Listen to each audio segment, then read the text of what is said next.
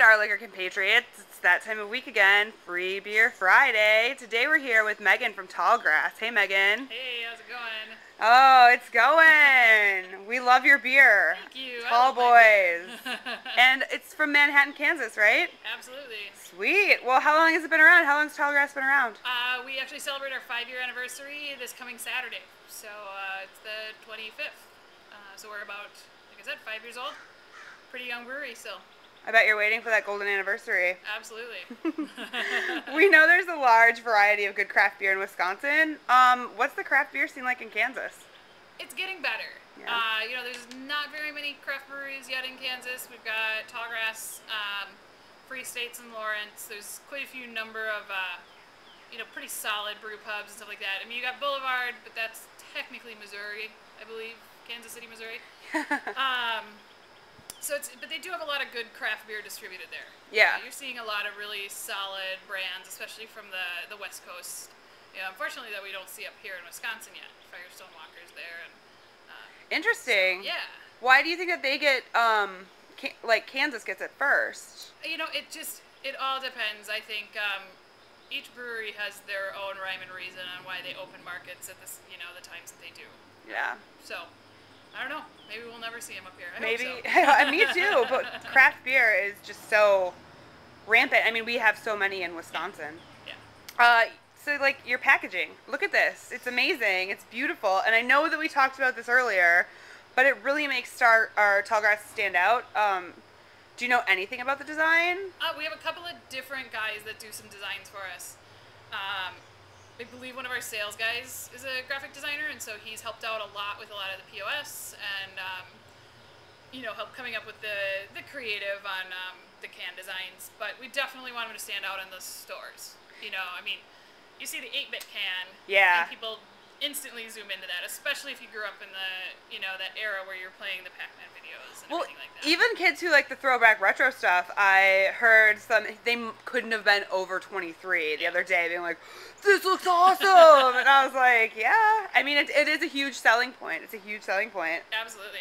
Um, the popularity of canned beer is really on the rise. I only drink canned beer. Not really. That's kind of a lie, but you know, I prefer to find all of my canned beer or all my beer in cans. Um, was Tallgrass's decision to use cans environmental based on beer quality or strictly marketing? Um, you know, it wasn't. From what I've been told, our, our owner actually told me the story when I was down in Kansas last time. Uh, we started bottling originally, but within about six months, decided to go to cans because a couple of uh, you know loyal customers down in Kansas had mentioned, you know, it's really hard to recycle bottles in Kansas for some reason. Interesting. Um, you know, and this one guy's like, hey, I've got 25 cases of empties. Can I give them back to you guys?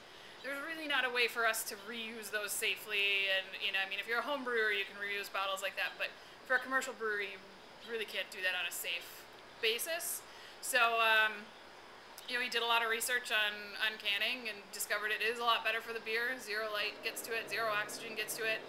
Um, you know, the freshness is a lot longer, so we have a really nice, uh, about 180 day shelf life. Oh, uh. For the beer, which is great, even for a big hoppy beer like Oasis. Uh, it's not going to lose that hop quality to it. Um, you know, and then you get into the environmental factor where cans are a lot better, a lot easier to recycle. They're a lot lighter for us to ship. Um, the uh, the materials are a lot cheaper actually, which keeps the cost down to the customers. Mm-hmm. You can take cans a lot more places than you can Yeah. take bottles. Uh, I mean, I could go on for about an hour on why I think cans are better. Um, and it seems like it seems like cans are uh, kind of becoming that new trend. A lot of breweries are kind of hopping on board with that. We've seen it with New Belgium and Sierra Nevada. Mm-hmm. Um, so I think it's gonna be it's gonna be great. It's gonna really um, eliminate that stigma that canned beer has. No, I'm excited about that. And they're lined, right? So there's no chance for like an aluminum flavor. Absolutely, yeah. There's an epoxy lining in the inside the cans, so you know you're not going to be able to taste any difference from the Velvet Rooster as you would in a nice clean tap line.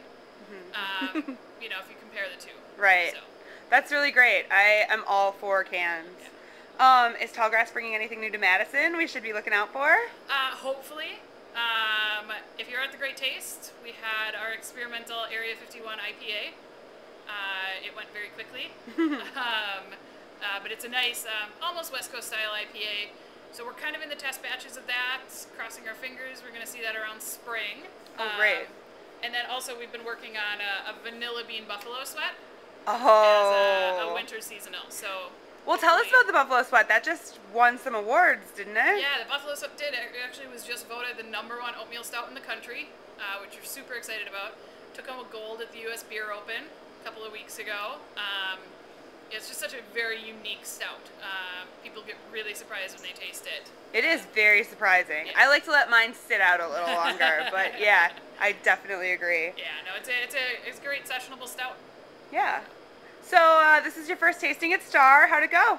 I think it went great. Yeah. A lot of good customers, and seemed like we had to refill that little cooler a couple times, which is always Yeah, we good. did. Yeah. well, thank uh, you so much. Yeah, no, thank you. Yeah, and as remember, guys, every Friday, free beer from four to seven. Thanks for shopping at Star Liquor, and thank you so much, Megan. All right, cheers. Cheers.